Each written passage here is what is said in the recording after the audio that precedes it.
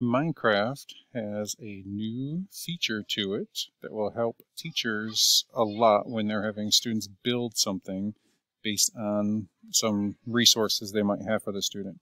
So right now I'm in a Minecraft world.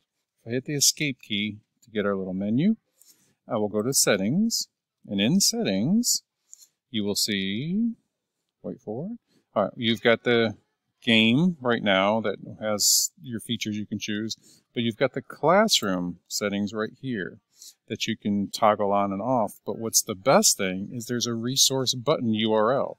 So if I put in a resource button, um, I can name what that button is going to be, um,